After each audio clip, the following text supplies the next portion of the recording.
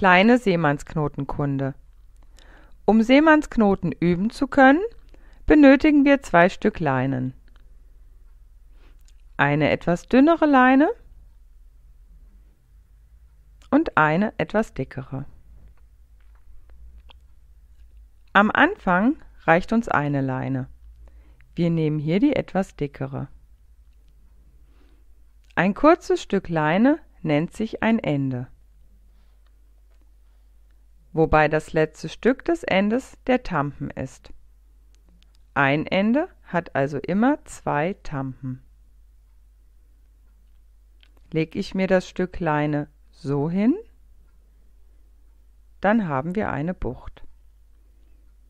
Mache ich eine Schlaufe daraus, ergibt sich ein Auge.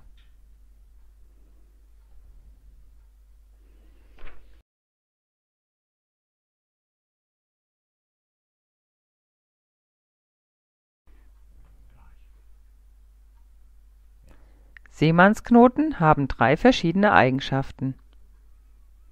Ein Seemannsknoten muss leicht zu stecken sein, er muss unter Zug sicher halten